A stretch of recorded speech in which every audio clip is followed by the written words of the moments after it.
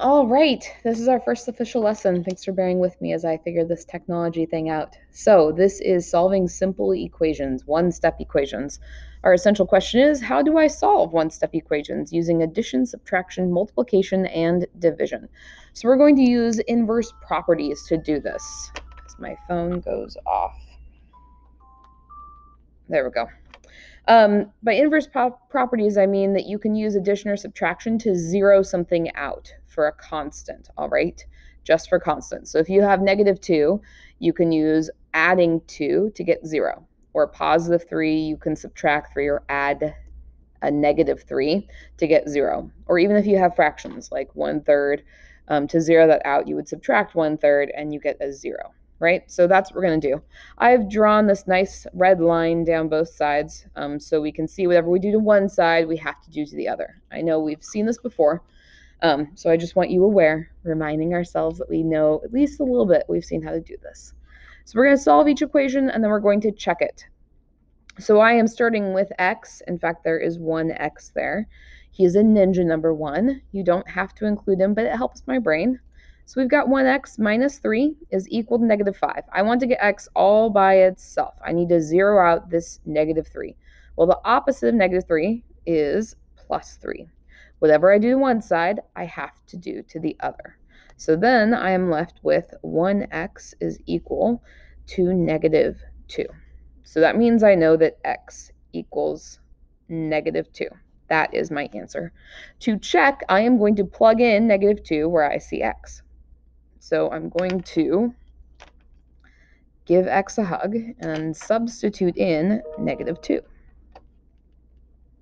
So then I have to say, well, negative 2 minus 3 equals negative 5. Negative 2 minus 3 is negative 5, and it equals negative 5. Yes, that's true. It checks. It needs to have the same number equal to the same number, all right? That's how you do a check. Um, the question that I'm going to ask you is Can my two year old see that it's the same? Or my four year old see that it's the same number? My four year old actually knows his numbers very well. He would recognize that those are fives, so he could see it's the same. So when we do a check, we want to make sure that it's down to one number equals one number, not up here, but down here. Let's do another one together. We've got 0.9 equals y plus 2.8. Um, you do not have to have the variable on the left side. It's fine like this. If you really want to reverse it, I'm not going to hold you back, but it's fine like this. So I want to get the y by itself. We have plus 2.8. So the opposite of adding is subtracting 2.8. I need to subtract 2.8 from both sides. We have a positive 0.9 minus 2.8. That means I'm going to get a negative 1.9 is equal to y. Again, if this bugs you, you can always reverse it and have y equals negative 1.9. Let's do our check. So we have 0.9 is equal to negative 1.9 plus 2.8. We have 0.9 is equal to negative 1.9 plus 2.8 gets us 0.9. My four-year-old can see that those are the same number, even if he doesn't understand decimals yet. The last one that we're going to look at for these example problems is to solve the equation P as a literal equation, all right? Literal equations have um, no constants. They have only variables. So this is a literal equation. Sorry, I get a little tongue-tied with those sometimes. So we want P to be by itself. Well, we have a plus Z here. The opposite of adding is subtracting. So I minus Z plus z minus z, it's gone, right? I add to subtract to 0. So z is now gone from this side. But whatever I do to one side, I have to do to the other. So I subtract z from the other side. So now we have p all by itself plus 0 I'll put on there because that zeroed out. And on our left side here, we have y minus z. So y minus z. If you really don't like p by on the right, that's fine. So we can have p equals y minus z.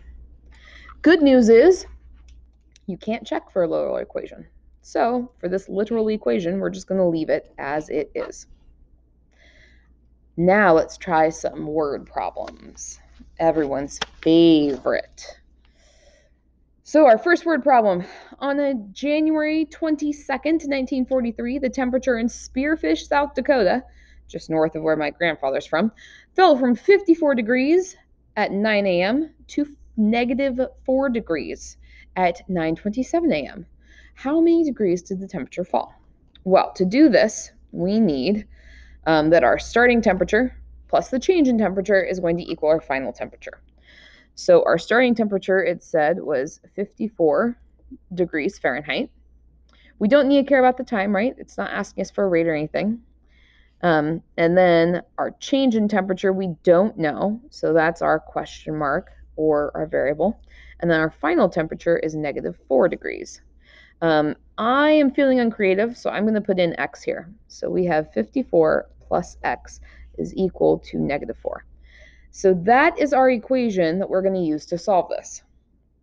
I want to figure out my change in temperature. I want to get x by itself. I have a 54 here, but what kind of a 54 is it? It should be a positive, right? If there's nothing written here, then it's a positive. The opposite of a positive is a negative. So I need to subtract 54 on both sides.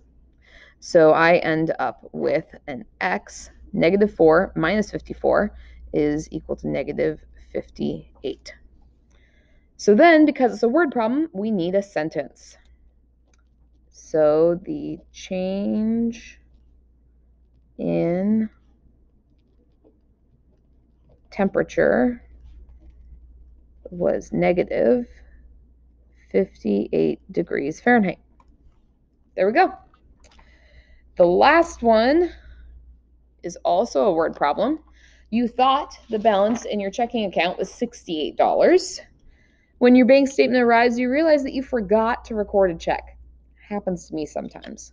The bank statement lists your actual balance as $26. So write and solve an equation to find the amount of the check that you forgot to record. So our actual balance we know is $26. We don't know how much the check was that we forgot. I'm going to use C for a forgotten check. And we thought the balance was 68. So I need to figure out how much um, the check was that I forgot. So I am going to actually add C on both sides. And the reason for that is because I have a negative C here, right?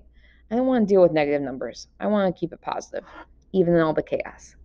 So we have 68 left on our left side, plus 0 minus C plus C, zeroes out.